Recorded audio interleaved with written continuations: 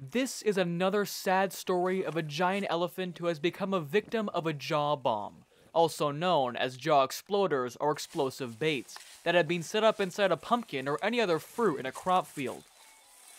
To make his situation worse, there was an abscess formed in his leg, too.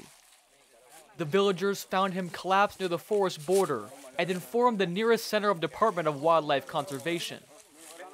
The elephant would have been like this for days. If not seen by villagers, he would have possibly died here in a lot of pain. The officers arrived and they could see the elephant lying helplessly. It is difficult to inspect the elephant closely at the site of its collapse. To facilitate a thorough examination, villagers and officers collaborate to move the elephant to a more accessible open area. They employ ropes tied to its legs to haul it to the designated location. Closer inspection confirmed that elephant had become victim to a horrific jaw exploder. The jaw is severely injured, and pus and saliva drooling from the mouth. There could be an infection developing in the elephant's mouth. With such an injury, it becomes difficult for an elephant to get the amount of food it needs for a day, as he can't eat big things like he used to. There were some food particles stuck in the jaw because the elephant can't chew them properly with an impaired mouth. The officers started by cleaning the mouth by removing the food residues that are stuck in. The poor animal must have been starving as he is unable to intake the food properly. Now, the officers are washing off the injured mouth with water and saline to clear away the debris from the wound, dissolve dried blood, and remove the irritants and bacteria.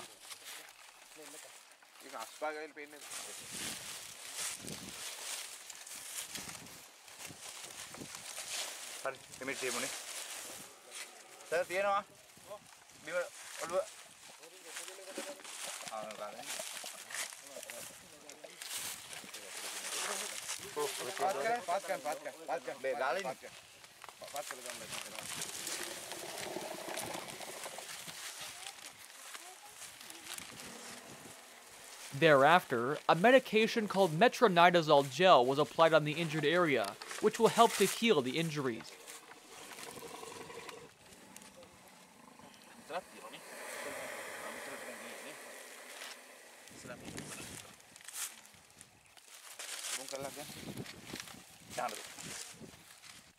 The elephant is severely weakened due to prolonged starvation. Therefore, the veterinarian decided to give saline to replenish the lost energy of the elephant. An IV line is connected to the most prominent ear vein to administer saline. To make the situation of the elephant even more miserable, it was found that there was a minor abscess developed in the elephant's leg, too.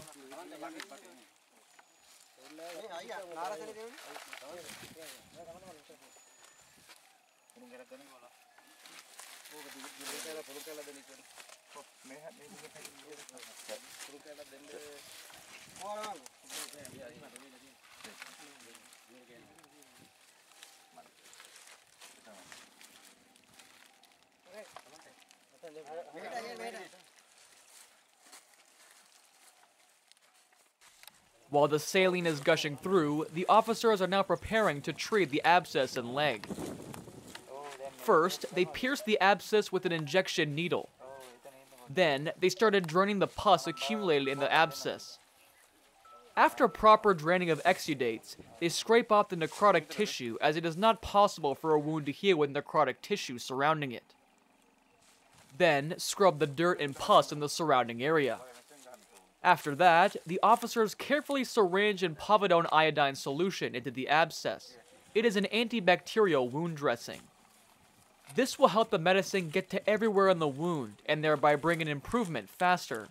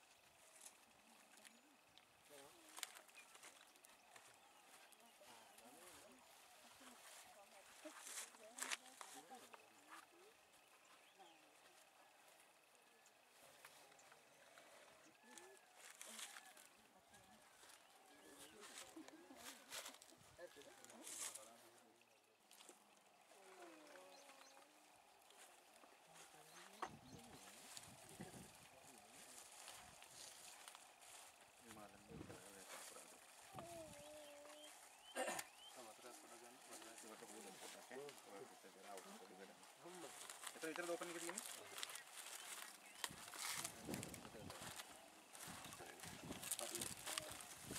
Hola,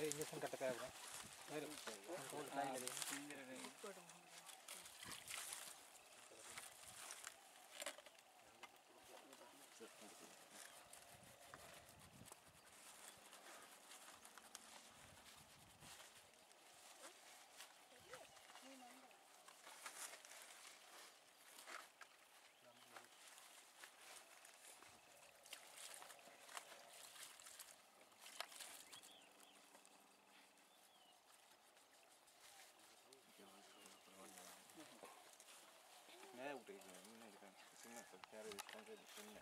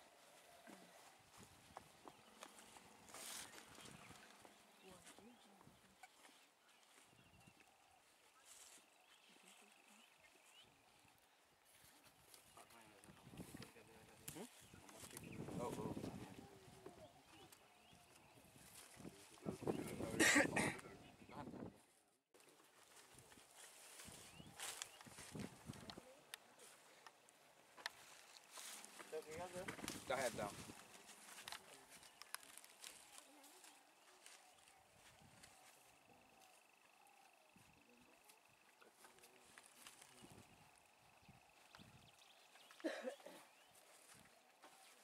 what do you think?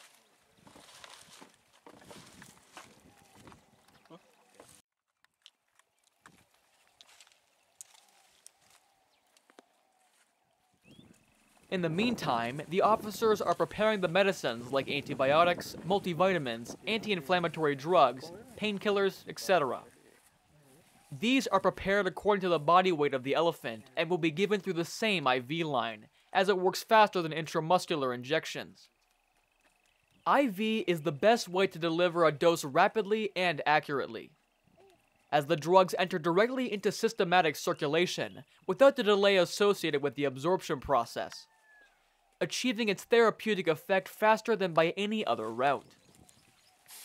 The elephant still has the scraggy look.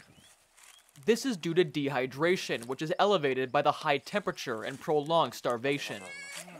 Saline works efficiently in situations like this to rehydrate and restore the nutrient gaps and energize him with the added medicines. In addition to the medicines, the veterinarian added some dextrose to the IV line to get this job done faster.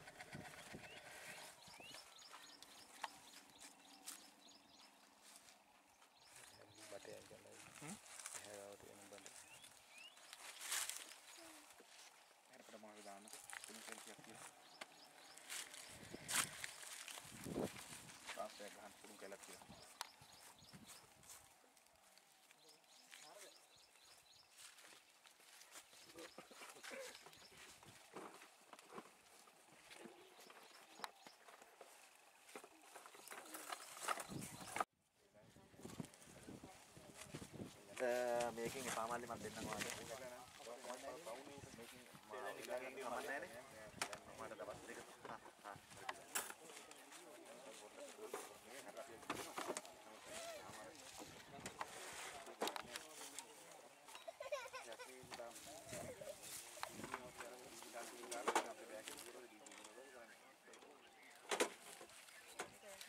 On the other side, officers applied bluish antiseptic fly repellent spray on the leg abscess to smear the wound externally.